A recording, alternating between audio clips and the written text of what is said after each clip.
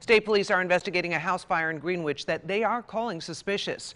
Happened just before 11 Wednesday night on Route 77. The four children and two adults inside at the time made it out safely.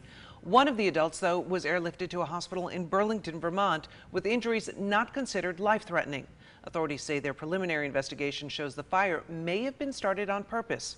We'll continue to follow this story and update you as we learn more.